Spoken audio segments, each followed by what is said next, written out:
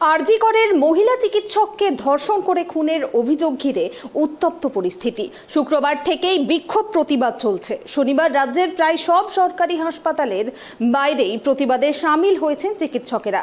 জাতীয় স্তরেও চিকিৎসক সংগঠনগুলো আরজিকর কাণ্ডের নিন্দা করেছে।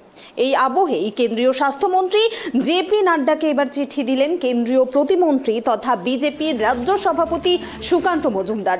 আরজিকর কাণ্ডে সিবিআই তদন্তের দাবি জানিয়েছেন তিনি।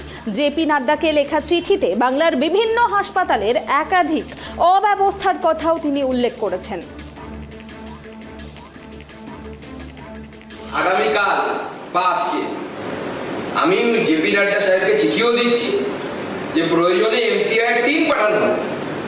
দেখা হোক যে রাজ্য সরকারি মেডিকেল কলেজগুলোতে পরিকাঠামো ঠিক আছে কি নেই।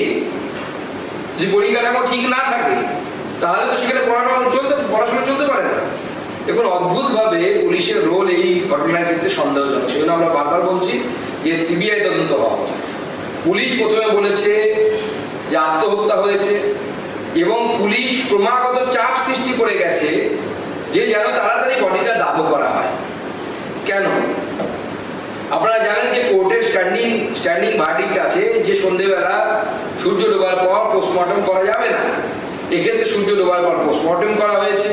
তাড়াতাড়ি বিষয়টিকে ধামাচাপা দেওয়া হয়েছে। পরিবারকে পর্যন্ত বলা হয়েছে আপনারা তাড়াতাড়ি দাহ কার্য সম্পন্ন করুন। পরিবার মিডিয়া মেয়েকে দেখতে চাইলে দেখতে দেওয়া হয়নি বহুক্ষণ। পরিবার মিডিয়ার ফোন রিসিভ করতে চাইলে বলেছে কেন মিডিয়ার সাথে কথা ব্যাপার পরিবার মিডিয়ার সাথে কথা বলবে কি বলবেন না? এটা কি পুলিশ ঠিক করে দিতে পারে? কোন আইনের বলে পুলিশ এটা করছে? পুলিশের ভূমিকা অত্যন্ত সন্দেহজনক। পুলিশ এই ঘটনার তদন্ত করতে পারবে না এবং আমি দাবি জানাচ্ছি, নিজের পক্ষে সিপির উচিত এই ঘটনার দায়িত্ব নিয়ে, যেহেতু পুলিশের তরফ থেকে এই ঘটনা ঘটানো হয়েছে, পুলিশের মধ্যে থেকে একজন ক্রিমিনাল অতএব তাকে সরে যাওয়া উচিত নিজের পদ থেকে, ইস্তফা দেওয়া উচিত। পুলিশের ভূমিকা নিয়েও সিবিআই তদন্ত হওয়া উচিত অবশ্যই যখন তদন্ত হবে শুধু কেন এটা নিয়ে হবে? সমস্ত বিষয়টা নিয়ে উচিত